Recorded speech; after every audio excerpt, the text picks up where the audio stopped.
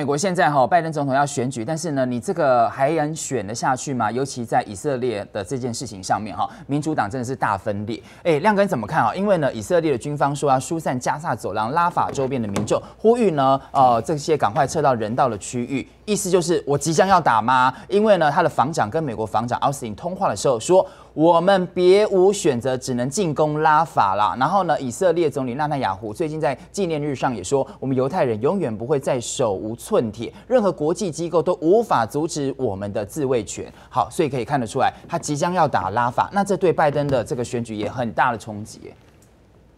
我那个东区啊，东区就是难民营的周边呐。啊，他不敢一下就打进难民营了，那太可怕，太惨了。嗯，那拉法这个地方人口大概一百四十万嘛，对，那有一百万是在难民营那边，哦，更多。所以我认为他就是块状一块一块这样吃啊，先吃比较没有那么大争议吗？是这样吗？不，他要你驱散，就你就躲起来吧，你要离开，就叫你赶快走了。是啊，他拉萨就是这样打的，啊加萨了，北加萨。走走去哪里啊？他叫人家走，从北部走到南部。现在你又打南部，是啊，所以走去哪？所以我就跟你讲，后续的那个人道救援危机一定很严重，因为比如说这群人被迫好往难民营方向，那他们可能本来没有住在难民营，对，那怎么办？那那边人又更多，那那那边也要有足够的这个食衣住行要处理啊，是啊，对不对？那反正都一定是灾难了。灾难，那看起来他是要打，他就是先下疏散令，嗯，然后接下来我就要进场，这个跟打北加萨完全一样啊。对啊，他也是说先叫你离开啊。对啊，哦，那然后你不离开就说你就是哈马斯啊，他那个论点就是这样啊。对，他的论点就是这样。事实上就是这样啊，因为他认为拉法地区有哈马斯四个营啊，他的判断四个营啊，那。他就是他觉得他一定要打到，我认为他就是要把比较大型的建物全部摧毁了。天哪，嗯嗯，我认为就是这样。是，所以如果真的进入这个军事行动了，我摆讲白了啦，这个我觉得学生啊，对，还有全世界的穆斯林啊，嗯，一定会非常激烈的反应。是啊，嗯。那你觉得拜登这个会不会影响他的选举？尤其是我们知道共和党是没有任何的哈，因为时间还蛮久的。哦，你觉得说可能一开始冲击？我我认为拜登就是个老狐狸了，他就是看纳坦雅你你就踹吧，踹到你可能自己也受不了，也要下台。当然是这样啊，这个就是政治啊。嗯，所以你你一下问说讲到选举，没有人会这样分析政治，OK？因为隔太久了。是，现在才五月。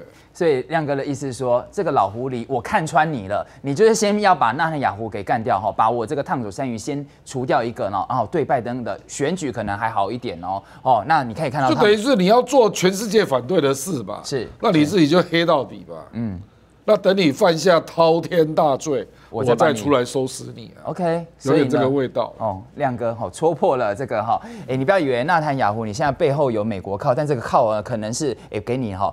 有藏刀的哈，那尤其现在哈，拜登现在也是两面手法吗？比如说最近 RCS 竟然爆料说，拜登政府暂停了向以色列送美制的弹药，哈，引起以色列内部严重的担忧。我觉得就是胡说八道。对啊，你觉得？嗯，难道以色列都没有存货吗？你你你你全什么暂停？什么叫暂停？你就全部停止。对，你为什么不说停止？是。所以你会不会觉得这就是美国这边好像放说，我们其实也对以色列有一些节制哦，对不对？是啊，啊，上次他不是说要惩罚那个约旦河西岸一个暴力的以色列团体没了，后来也没处理，不了了之，是嘛？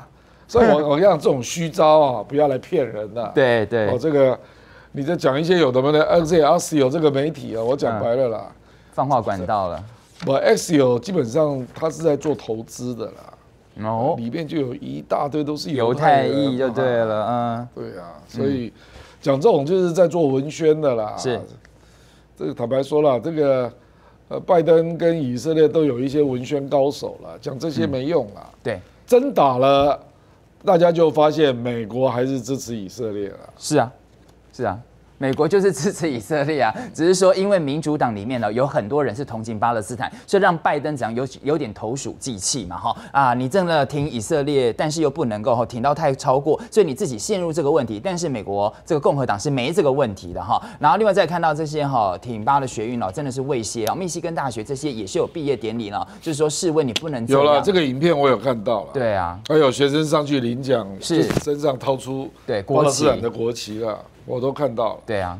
不过密西根好像好像还算是包容了，对，是蛮和平，并没有要惩罚他们。其实有什么好惩罚？我表达那个国旗有什么样的立场？对，那他是在一个大的体育馆嘛，所以我是觉得还好，这个算和平。这是和平的表达诉求，但是你可以看到以色列真的也蛮强硬的哦。他既然内阁投票说要关闭半岛电视台，好，耶路撒冷分社哈在以色列的业务，不，这个表示他跟卡达闹翻了嘛。不，因为半岛，事实上卡达不是政府了啊，卡达卡达的有钱人就是哈马斯的金主嘛，嗯，这大家都知道，大家都知道，嗯，那卡达政府也因为这样，所以本来是当调人嘛，对，那以色列把卡达的半岛电视台在以色列的分社关掉，嗯，那就表示要开战了嘛，啊，这也是一个讯号，当然是讯号啊，就是。卡达，你当中介人没用啊，你闪一边呐。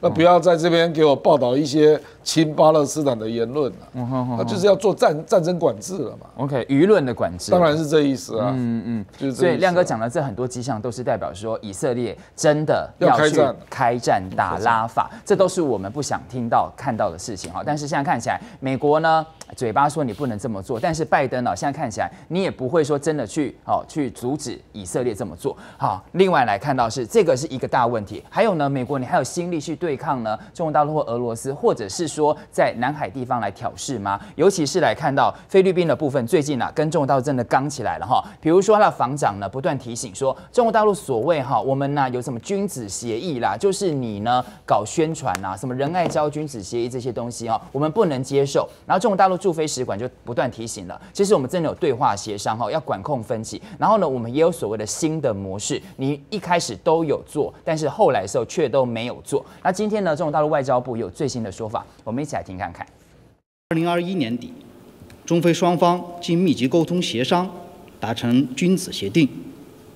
菲律宾本届政府初期，双方继续执行君子协定，直到二零二三年二月，菲方不再遵守。菲方的有关言论，否认不了中非曾达成君子协定、内部谅解和新模式的客观事实。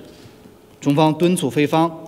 遵守国际交往基本准则，尊重事实，信守承诺，停止侵权挑衅。亮哥，其实之前我们上礼拜的时候，亮哥说，怎么可能没有君子协定？不然一开始怎么会遵守？亮哥你怎么看？他是不是天天都在说没有这个君子？那不然杜特地五年为什么没事？真的，一开始而且仁爱礁已经占领多久了？那个马 马格雷斯号在那边已经二十五，今年的二十五，今年二十五，对啊。那之前为什么都没事？对。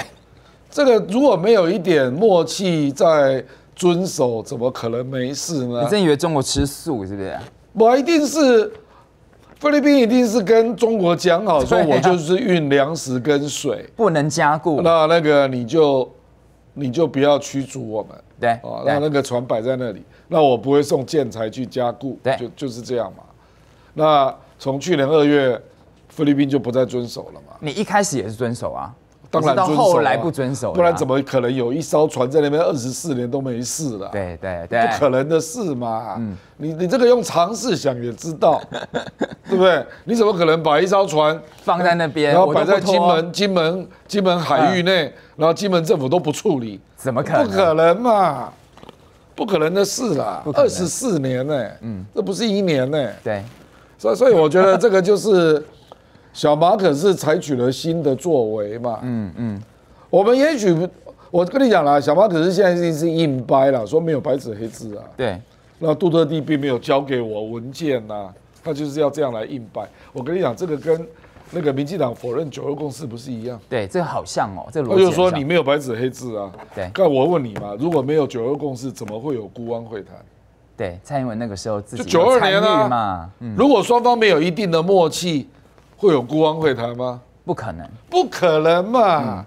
然后接下来国民党就继续跟那个人家那个大陆一起开始互动交往互动开始，嗯那没有默契，这怎么有可能呢？嗯，你不觉得这有点类似吗？真的。也许一开始不叫所谓九二共识哈，但是这个精神嘛，然后呢，后来才会呢，我就是没有白纸黑字嘛。对不会可是 可是我跟你讲，我我我有时候在讲什么叫做协定嘛，嗯或者说有没有君子协定？对你去看当时的政府互相往来的文书所潜在的那个意思嘛。对对这个呃如果连这个都读不出来，然后要去硬凹说没有白纸黑字的文件，这天，那你真这个你这个就逼中国必须要这个出手，采取另外的措措施嘛？对啊，哦，你说没有文件对不对？那你要一直乱搞对不对？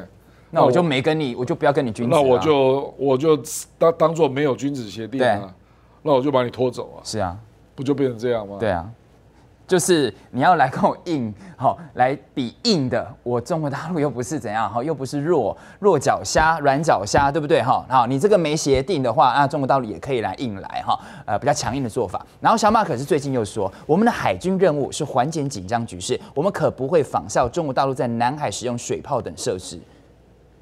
他有不了，那个也不是军舰啦，那个是海警船呐、对所以所以他在讲海军，人家根本就还没动用到海军呢。对啊，是啊，这个、菲律宾水炮是可以看吗？不啦，那个 菲律宾的水炮大概跟台湾的差不多啦。很弱哎、对啦，就是这样啦。他他事实上把这个这个国家真的好，它的模式还是都是碰瓷模式啦。碰瓷模式。比如说他的防长讲那个话，嗯嗯，那你的意思是什么？所以对没有协定，啊，所以怎样？所以现在要硬啊要硬碰硬，是不是？所以你不觉得他有一点就是要引来冲突吗？哦，我就想被你打，是啊，头打，就是碰瓷嘛。哦，碰瓷头打，他现在等于是在论述上也要让中国呃气生气嘛。嗯，他说我没有跟你有协定啊，那、对你要来就来啊，对。就这意思嘛。哦天啊，我真的觉得中国大陆“碰瓷”这个词真的太好用，故意的，故意要去碰你这样的碰瓷。所以呢，菲律宾他现在等于是我行动来逼你逼你打我啦，啊，我也在言语上说我们根本没有君子协定，就是等于是步步，我不要说步步进逼了，因为他没有前进啊，他是步步引来引来冲突啊，嗯步步引来冲突，就是呢，你赶快来打我，赶快来打我哦，他是要塑造这样的。我认为是这样，那这个对他到底有什么好处？很难看呢。搞不好美国希望这样。哦，对啊，那你的背后引武者，但对菲律宾真的好？事实上，我觉得中国大陆考虑的不是中非关系啦，对，他考虑的是东南亚的感受啦。是，所以我觉得中国大陆在本忍耐这一出是在干嘛？对对，就是大国在演给其他东南亚国家看嘛。嗯，他就说，你看他无理取闹到这个地步，是啊，我还是忍住了。嗯，我觉得是的。坦白讲，那个演给看的对象不一样。对。菲律宾是演给美国看的，嗯，那中国大陆是演给东南亚看的。